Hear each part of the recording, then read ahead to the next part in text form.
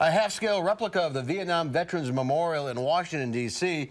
rolled through Janesville, Edgerton, Stoughton, and McFarland today, escorted by 100 motorcycles. Making its way to Operation Badger Base. It's a four-day celebration of veterans and their families that starts tomorrow and runs through Sunday at Ho Chunk Gaming in Madison.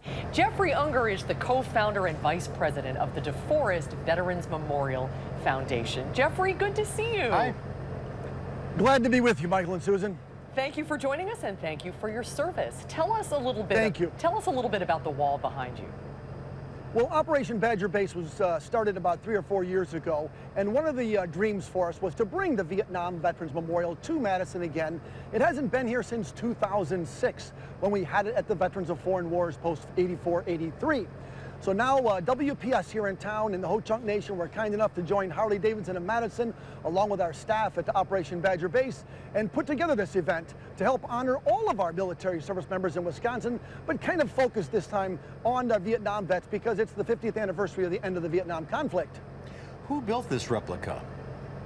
This particular replica comes to us from Washington, the Vietnam Veterans Memorial Fund, and that's the original one that Jan Scruggs uh, founded, which he's also the founder of the original Vietnam Veterans Memorial, that, which is actually in Washington. Oh, wow, it's very moving yeah, to, to, see it here, especially for Vietnam veterans who, uh, who felt like they didn't have very much recognition right. when they came home. So it's very special for them.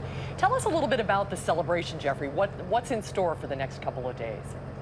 Oh, the next four days, uh, Susan, is going to be wonderful. It's going to be hot, obviously. Little rain coming in, as we heard from the weather earlier. But uh, we're going to celebrate military service of Wisconsin veterans and their families. There's two sides to this. There's a festival side for the family where there's entertainment and all that over on the uh, Harley Davidson side. And then where I'm standing here is the national monuments.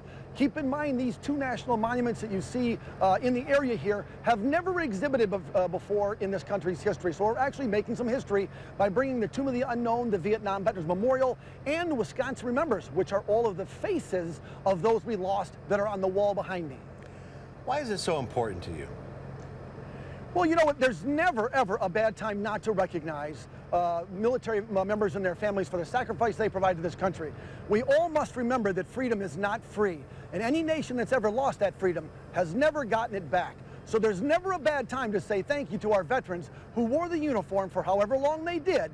Uh, remember, those folks, most of us came home. The 58,000 behind me didn't come home. So it's our job to honor and remember their service and sacrifice. And it's a great opportunity for people to get at least a feel of the Vietnam Memorial if you can't get to Washington, D.C. Absolutely, and that's why the Vietnam Veterans Memorial half-size replica that you see behind me travels. It's to allow those who can never get to Washington have the opportunity to here locally, and this time in Madison, uh, see this wonderful memorial. It is a very moving mm -hmm. experience. Uh, and, yeah, and especially for Vietnam veterans. I mean, it's a healing opportunity for these guys and gals.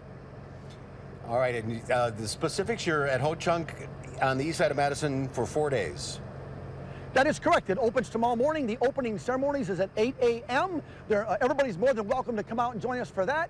And then it's open 24-7 and is absolutely free all the way until Sunday around dinner time. No reason to get out there and not see this. Jeffrey, it's a wonderful event. Thank you so much for the work that you do and for joining us tonight. Hope it's a great celebration. Thank you, Jeffrey. Always a pleasure to be with you. Thank you.